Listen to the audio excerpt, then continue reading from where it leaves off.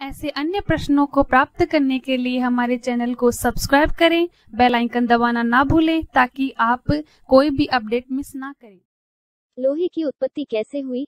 लोहे की खोज आज से लगभग तीन हज़ार साल पहले हुई थी, जिससे कृषि में वृद्धि हुई थी। लोहे के औज़ार बनने लगे थे।